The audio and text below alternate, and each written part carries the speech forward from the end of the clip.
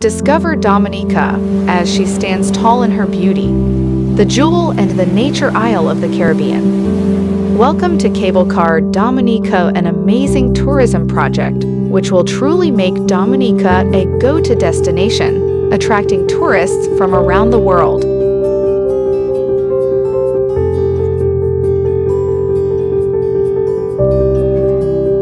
The country is building the world's longest detachable mono cable car.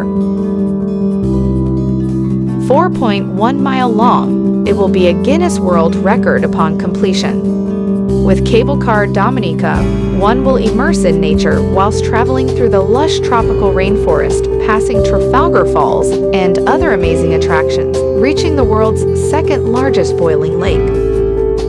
Just like the entire structure, the bottom station will also be completely climate resilient. It will have 24-hour electricity availability and an automatic generator facility in case of an emergency.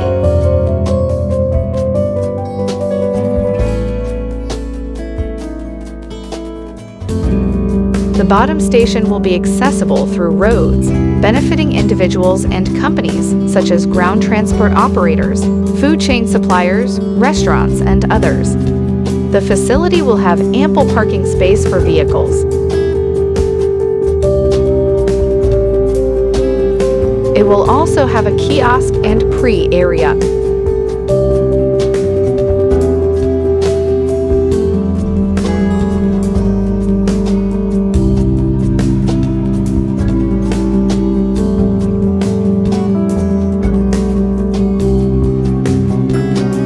The bottom station will have a food court with local and international cuisines with Caribbean fusion.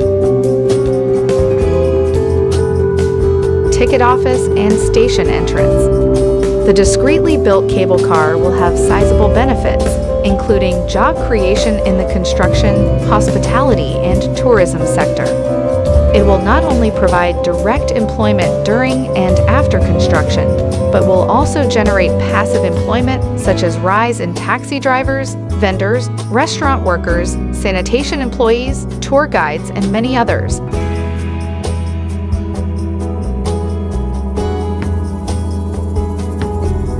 Inside the bottom and top station, there will be a ventilated lounge and boarding area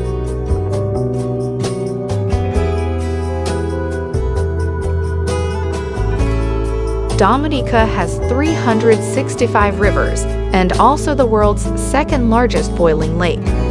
With the cable car, the passengers will be able to see the beautiful scenic views from the clouds.